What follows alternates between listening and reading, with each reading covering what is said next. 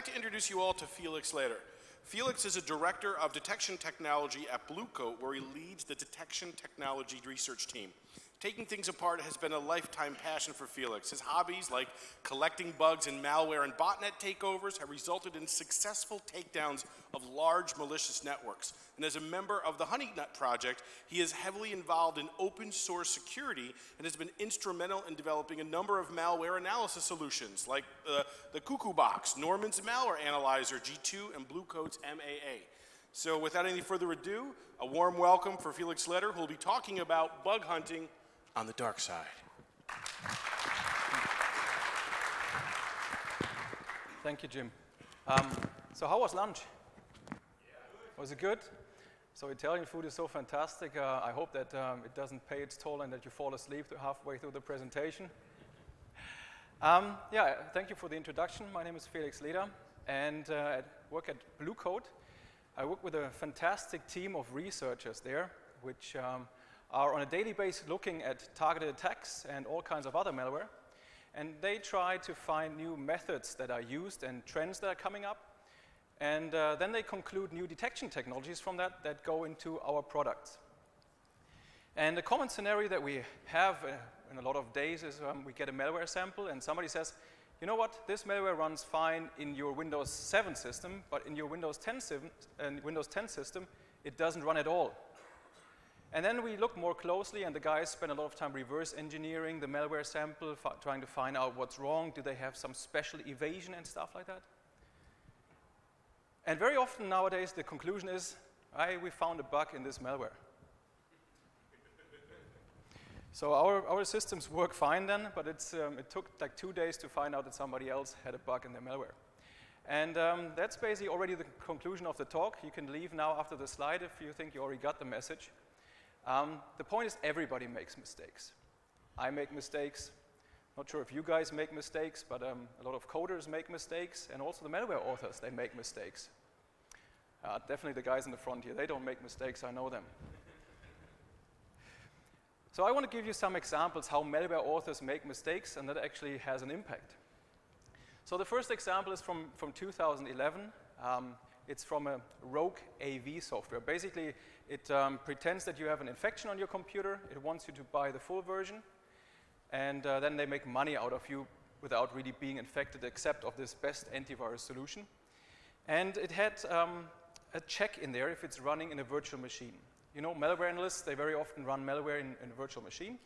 And they say we don't expose the full feature set if we are running in a virtual machine so that the researchers don't find out what we are capable of doing, only high level stuff.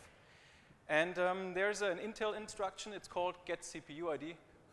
Can you guys actually read that? It's even hard to read from the front here. It's, it's, uh, it's not like, uh, yeah, very clear. So at the top right, you basically see the assembly that we got out of the malware, um, get CPU ID, and there's a flag that you get. And if this flag has the topmost bit set, it basically means that you're running in a hardware virtualized system. We have also um, put the pseudocode in C down here at the bottom. Do we have any C coders in the room? Okay. So please have a closer look at um, the comparison with the flag that's down there. If you know how to do comparisons in C, you know you have to use two equal signs. So they are doing an assignment. The result is they always think that they are running in a virtual machine and they will never use the full feature set.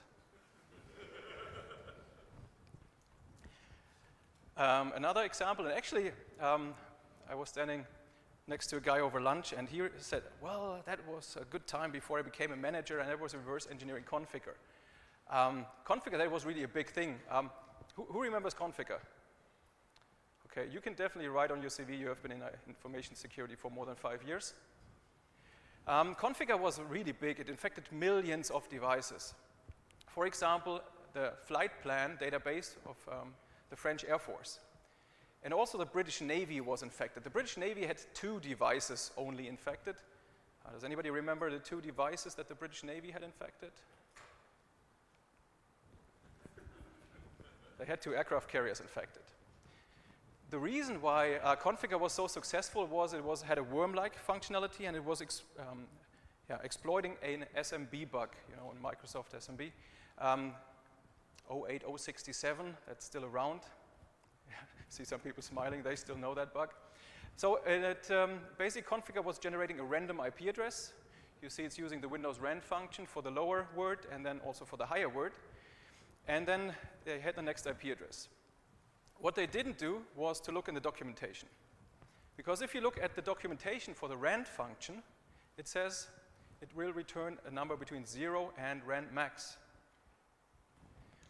And if you read a little bit further in the documentation, you will find out that actually the rand function only goes to 7FFF. So it's not using all of the bits that are actually available. The reason for that function is they don't want to have signedness by accident. But the point is, Conficker infected up to like 8 million systems in the world, but it was only like a fourth of what they could have infected. And I know some um, security officers that say, well, we never had a problem with Conficker. And the standard response usually is, okay, you probably have an IP address in the right range. Um, who remembers Stuxnet? Okay, wow, a lot of people. So Stuxnet had an installation routine, and they wanted to make sure that they only run and install on supported platforms. And that was the Windows uh, major version 5 or 6. So in order to say, well, it's 5 or 6, they basically do the check larger or equal than 5 and lower or equal than 6, right? The problem is somebody had a typo in there, and instead of and, they used or. So think about it, smaller than 6 or larger than 5. That's pretty much all versions. The only thing that saved them is that they were checking for NT systems. Otherwise, Stuxnet might have been discovered even before it was properly used. You know, so even in APTs, you find crazy stuff. Everybody makes mistakes. Okay, these were just some examples to get started. Um, very often you can really use these things to turn the tables on the attacker to put them in, into a defensive position. You don't have to wait for them to attack you and then hope that you get, them, get them out of the network. You can really do stuff against them. Let's again start very simple on some very uh, simple stuff to illustrate attribution, for example. Um, this is a standard PayPal phishing email. Um, it's very hard to read. Just believe me, it's PayPal phishing. Okay? Um, and it's in German, and you probably all have had phishing emails where you found something in a very strange language, something in Norwegian, something in French, and it was somehow not a real person writing that, right? So in this case, they did the same thing. Uh, it was strange, and uh, we found out it was a copy and paste. It was a copy and paste, and that's the thing that you can't read now. They also copy and pasted the Google Translate link from the bottom of the page.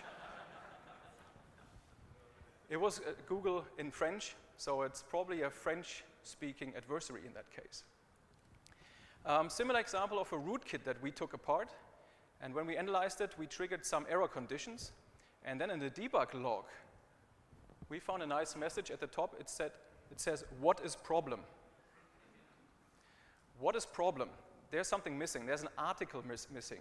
Like um, most native speakers would say, what is the problem? What's the problem? So that gives an indication that this, this, might be an Eastern European actor writing this because they usually don't use articles. Another example in the same um, direction is, is Kelihos. Kelihos was a very sophisticated botnet, um, mostly used for spam DDoS attacks, but it had like a multi-tier, like a peer-to-peer style architecture. And it was um, very hard to analyze until we found a command line switch, which said slash logs 99, and suddenly it would pop up a new window explaining in very detail everything it did, which files were opened, which IP addresses contacted, which functions were called, what did the functions do.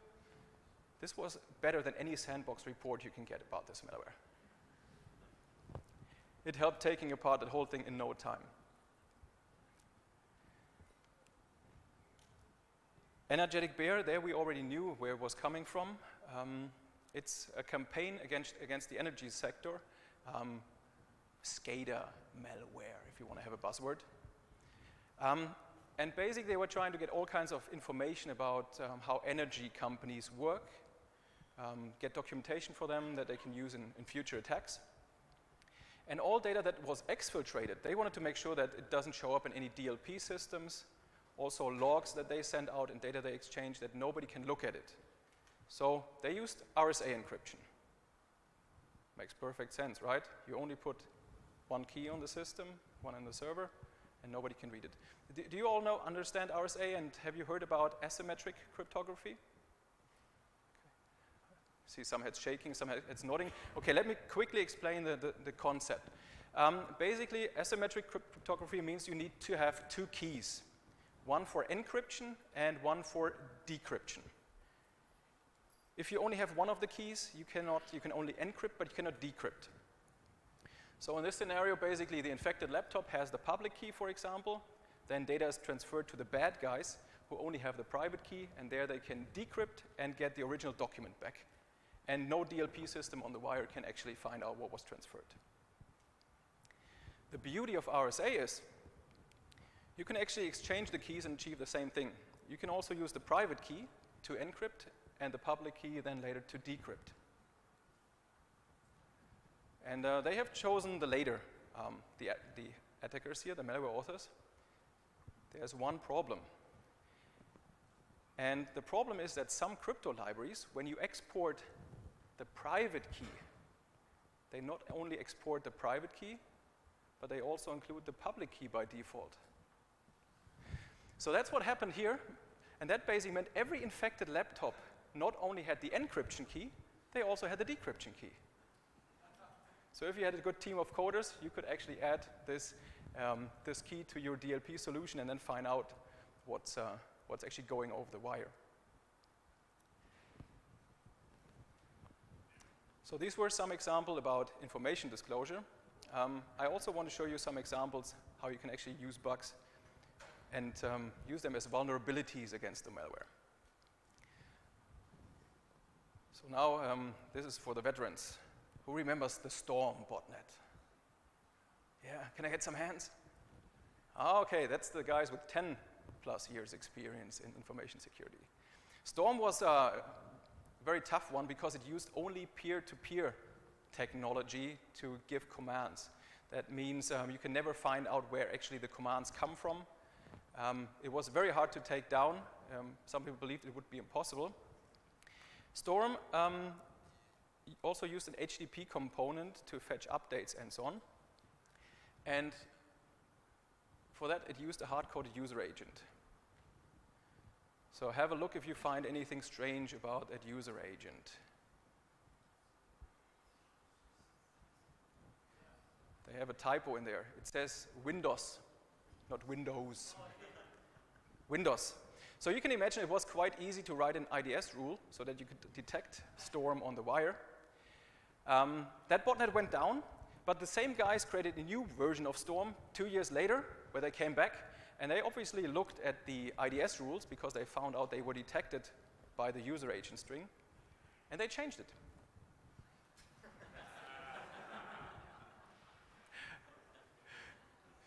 So you can see they just removed some numbers at the very end, but they kept the window. So you can imagine how hard it was to actually adjust the rule and uh, create a new IDS rule for that one. Here's another APT example, um, Sykipot. Um, is actually quite sophisticated in what it's doing and how it's spreading. If you are a valuable target, they really use like proper zero days, you know, like really expensive, hard to get stuff against you. Um, so that means as a private user, you will most likely never ever see it, but if you're like a big company, um, you might actually get affected by Sykipot.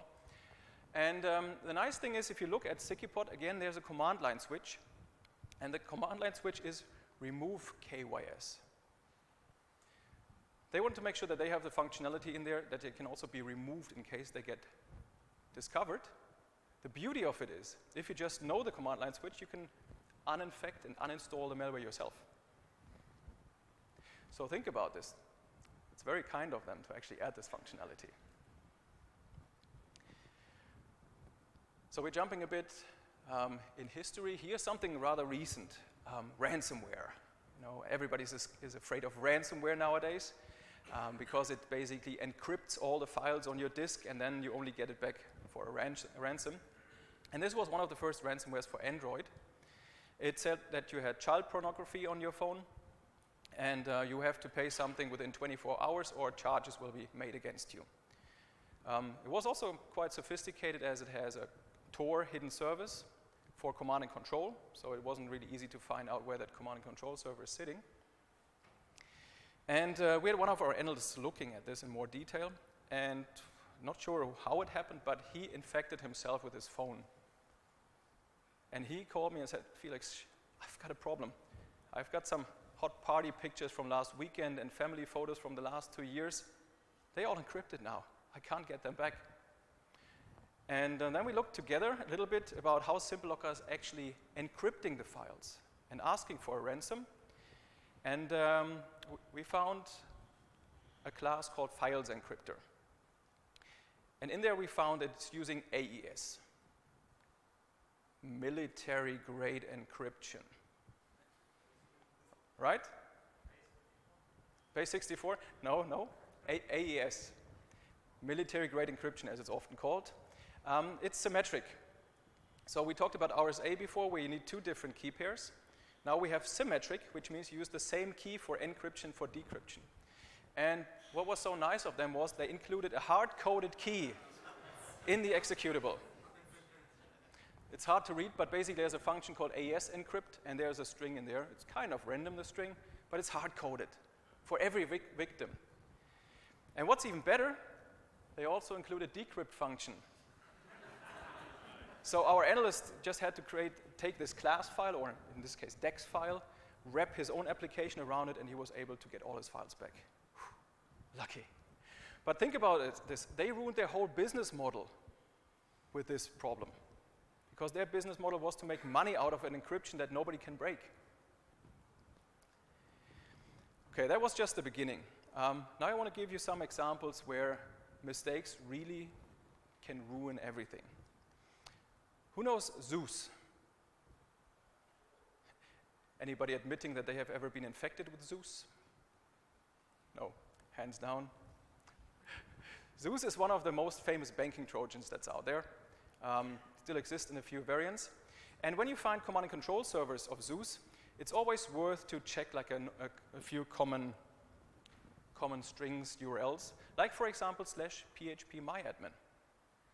So in one of the drop zones, we found that actually they had php myadmin, and they forgot to set a root password, which means you had root access to the full database via the this URL.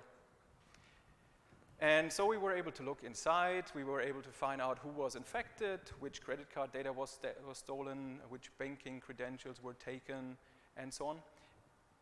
And we also found a database that was called um, CP users, which contains the admin credentials. Um, so the beauty of that is, a few months later, they locked down the database. They found the PHP MyAdmin stuff, and basically nobody was able to access that anymore. But the password was just MD5, and it was so simple that it was actually able to, we were able to Google it. Do we have Italians in the room? Any Italians? Okay, very good. The password is stronzone. So um, since nobody not understands Italian, that's not a problem to say it here. Another banking Trojan that also had some problems, and now we really come into the classical OWASP field. Yaloodle. Typical man in the browser, but actually quite cool, because, for example, they were faking your account information in the browser. So let's say they transferred $2,000 from your account to Russia. Afterwards, they were still showing that you had the right balance on your account. So that was pretty cool. Your browser so you had to switch machines in order to actually see the difference, right? As long as you were on the infected machine, you saw the right balance on your account. And as in the case with a Zeus before, when you have access to the command and control server, uh, you can also get access to the source code of the backend sometimes. And um, that's what some guys did. It wasn't us, it was somebody else. The link is down there, will be in the slides later. Um, and if you look at the, com the co um, command and control server code, you see on the left side all the different input parameters that they take. And you also see that they do sanitization, right? That's on the right where you see all kinds of regular ex expressions, replacing tokens, and so on. So they are doing it right, they are doing sanitization, but what you are seeing is the full source code. You see the full source code for the parameters, and you see the full source code for the sanitization. If you look at the left side, you see there are 13 parameters, and they are sanitizing two of the parameters. And that actually creates wonderful eh, SQL injections that you can use to exploit the command and control server. Isn't that nice? But I tell you what, there are also some more advanced people on the market, and especially the newcomers, you know, everybody who's coming right from academia, they can do much better. Here's Dendroid. Um, Dendroid was one of the first malware construction kits for Android. About a year ago, or maybe two years ago, they found out it was actually developed by an intern from FireEye who learned too much at FireEye. Um, but this thing was pretty cool because if you were infected, they could turn on your microphone at any time they wanted to. They could record any phone call, get any text message, and basically, think about this. Do you ever leave your phone in your office when you go to a secret meeting? Most CEOs don't. They bring their mobile phone, and very often the mobile phones are lying on the desk, on the table during meetings. So they have access to your calendar, and they can record voice whenever they want to. So you are bringing your own bugging device to your own meeting, which is then highly confidential. And they have a solution for this bugging. That's nasty, right? Um, but this guy didn't know how much, how much that was worth, and he wanted to have uh, $300 for it. Um, and I tell you, if you buy something like that, you should also do a code audit. Um, let me show you why. Um, who has heard about prepared statements before? Prepared, oh, very good. I, I knew people here would understand prepared statements. Awesome. So um, for the rest, here's an example of a classical SQL injection. Basically, in SQL, when you want to access a database, you create a string, like a text, and you give it to the database, and the database is then like source code reading it and doing some action based on it. And if you add just the right control characters, basically the database is confused and it can do almost anything you want it to do. Prepared statements are different. In prepared statements, you have like one piece, the prepared statement, which is the logic, like a template, control logic, and you have the actual data on the other hand. I'm sorry, the projector is not showing the optimal picture here. So prepare with a template, and later on give the data to the template, and the database will do its, its magic in order to prevent SQL injections. So this intern at FireEye, he had heard about prepared statements, and he has used them by in including the values right into the template, and then later on not giving them as arguments. So he used secured, secure methods in a complete unsecure way. And this way, again, allowing us SQL injections into his backend.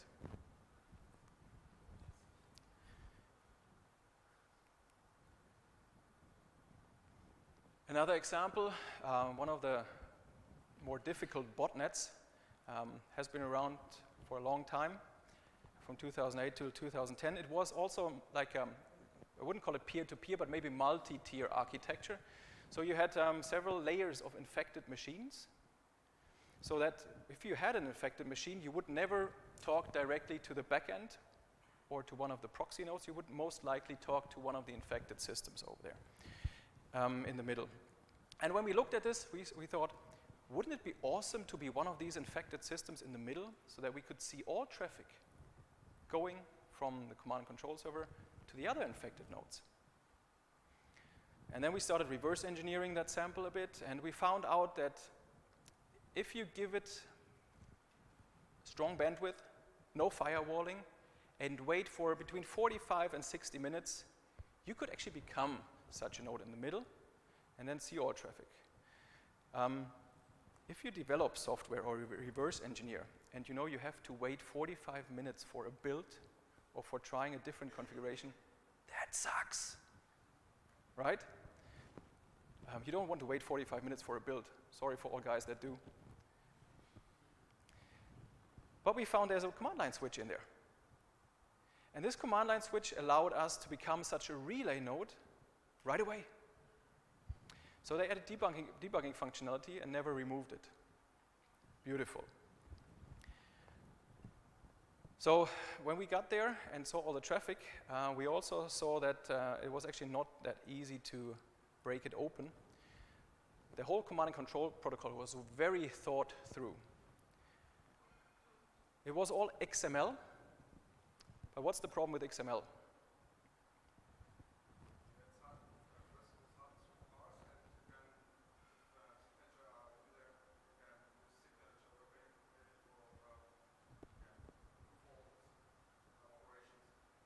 Yeah, very good points, especially hard to parse. Um, they um, wrote a very, very tiny parser for that. Um, it was just about to serve their purpose. The main problem for them was they wanted to give a lot of commands out, and um, XML is so bloated that you can actually see it right away. So they wanted to make it more efficient, and so they zipped it with bzip. And in order so that nobody can actually snoop on the traffic, they added another military grade encryption on it, AES. And because um, AES traffic is also hard to put in HTTP sessions, they base64 encoded the data. But um, base64 encoding is by nature, there are some special characters that don't go well in specific type of request that they want to use, which is um, XWW form URL encoded. So they also had to replace a few characters there in order to get there. So the tricky part for a researcher is actually the AES encryption, and they used RSA to exchange the session key. So that's the point where we actually at first thought we give up. Um, well, before that, we said, okay, let's have a look at these session keys that they are returning. And um, at the bottom here, you see at the very top, do I have a pointer? Yeah. Here you see the session key for January. Here you see the session key for February. Here you see the session key for March, for April, and for May. And this was not just for our infected system, this was for all infected systems in the world. Remember AES, you need one key to decrypt and encrypt. So even with using AES and RSA, it was still possible to decrypt all the traffic. And we kind of created like a, a small show off for our friends and said, hey, you know, that's using RSA, but we can still decrypt it, all of the traffic. We've broken RSA. Okay, but that was just a show off. The point is, you need to think about some facts sometimes when you use cryptography. For example, in Windows, you need to seed every thread that you create. If you don't seed the random number generator of a thread, they will always use the same random number. And then you might also end up with the same key all the time.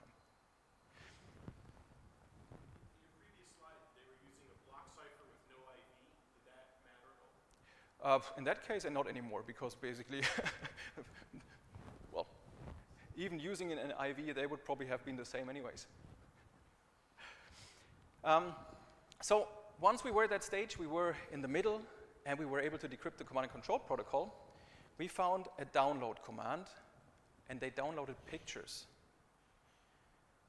Um, and now there's actually, if you are faint of heart, you know, you have problems with difficult pictures. This is not nice what's coming now. So please close your eyes for two slides. I can tell you when you can open it again, okay? Because it's, it's really, it's, there's not much, there's a lot of skin. So please close your eyes. Um, that was the picture that they sent over. US politicians.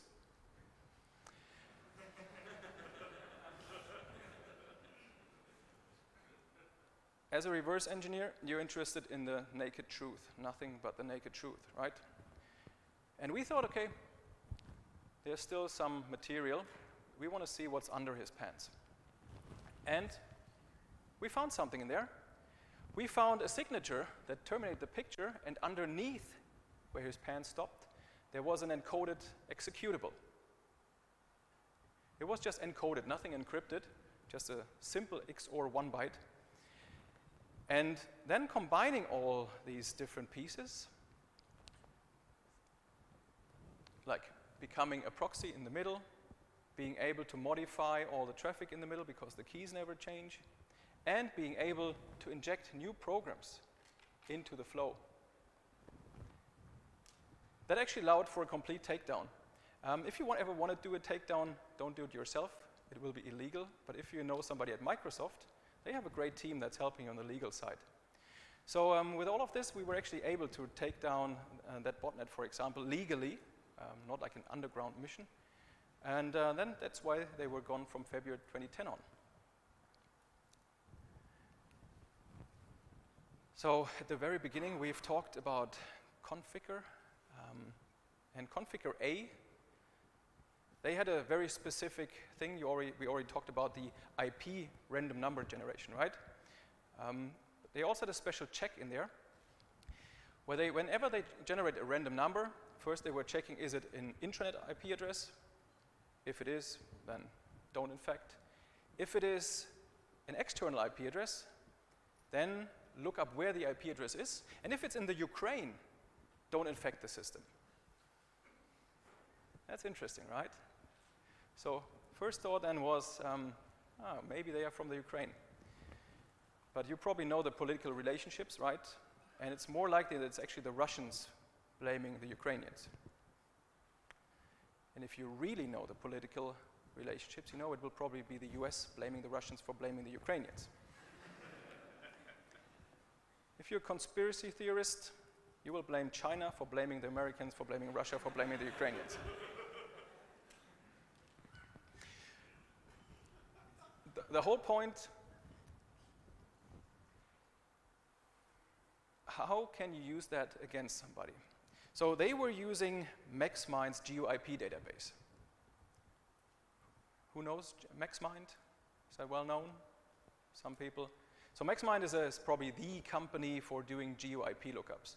They have a database you can download. You can even use it for free um, under certain conditions. And you give it an IP address, and it will tell you where this IP address is most likely in the world. And so Conficker downloaded this database from MaxMind. Um, at this time, several million computers were infected, and MaxMind got DDoS like crazy. So they had to take down the database, and they just provided a 404. And then we went to MaxMind and said, hmm, well, your database is down anyways. So can you maybe put up our database here that's telling that um, every IP address in the world is in the Ukraine? and he goes, what, in 24 hours? They said, yes, and put it up. And from that point on, it was actually very small. It was just 40 bytes or something. Um, they could also serve it, no more DDoS. And uh, Conficker stopped spreading immediately. And actually, we saw the infection numbers going down quite well because there were also some remediation tools. So relying on a third-party library is not always the best idea, especially as a malware author. So let, us summarize what we talked about. Um, usually as a defender, you're kind of in the disadvantaged position because there's an asymmetry. If you only make one mistake, if you forget to close one hole, the attackers can get inside your premise. And that's usually something that scares most defenders. The point is, when they are inside your premise, you can turn the whole thing around. They only have to do one mistake in one piece, and you can spot them. And if they make a bigger mistake, like with their command and control servers, then you can actually fight back, hack back, depending on what your legal department says. But the point is everybody makes mistakes, not only the defenders, also the attackers make mistakes. And you can turn the table based on that.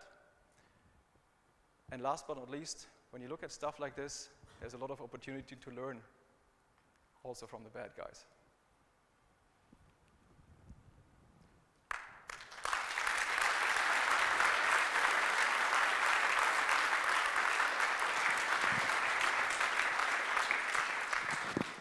Any questions? Let's go. Bring on the questions. Let's do this. No. You will not shout. You will speak into a microphone like a proper adult. Was there anything in the uh, OWASP top 10 that wasn't covered? I saw you had the nice little uh, A1 injection stuff. Oh shit, you noticed. Uh, so I, I tried to um, yeah, include something for all of the OWASP top 10, and uh, all the numbers are in there. But actually, I think um, I'm not skilled enough to actually rate the things properly. So you will find that actually a lot of the examples don't really map to the categories. you caught me. Questions? Um, did you ever take down malware by using buffer overflows or something uh, like this? Um, I'm asking because it's hard to actually, um, yeah, see it from the moral point of view. Uh, if you have malware, maybe infected on a medicine computer or something like this, and then you would use uh, techniques like uh, buffer overflow, and maybe they strike. Um, how do you get around these uh, problems? That's a, that's a very good question. Um, let, let me start from a different angle answering that question, maybe. So you're saying there are medical systems, and um, by disinfecting them, we might actually crash them. Um, in the case of Conficker, we were called in the middle of the night by hospitals and were asked to help them because Conficker had shut down the life-saving support systems. Um, so their systems were Windows-based. They were in a separate network, separate from the internet, but somebody had taken a USB stick, moved things, so they were affected. And they had a policy that if you enter a password three times incorrectly, they would block the computer, they would lock it down. And uh, in that case, that meant that some of the systems that are used for analysis, for monitoring people and so on, were not accessible anymore because of the malware. So in this case, it's really a trade-off. By disinfecting, yes, you might crash the system, but by letting the malware run freely, you're also letting the system lock down. Um, it's very much an ethical, legal type of question. It's very difficult to answer, and uh, we have never done it without legal support. Um, the one case I mentioned that I like to mention publicly is the one that was backed by Microsoft. Um, buffer overflows, since you asked specifically about it, um, Poison Ivy, some researcher found a buffer overflow in the command and control server of Poison Ivy, which is also a construction kit. And um, that can be used. In the end, it doesn't really matter if it's a SQL injection or a buffer overflow. The only thing is a buffer overflow, since it's machine code execution, you might do a little bit worse things. Like um, SQL injections are usually a bit more safer. But if you're a good exploit writer, you can also make your normal buffer overflow exploit just as safe as a SQL injection bug. So that's not really making a big difference. Sorry, long answer for a short question. Questions? Any more questions? A round of applause for Felix. What a wonderful talk. Thank you very much.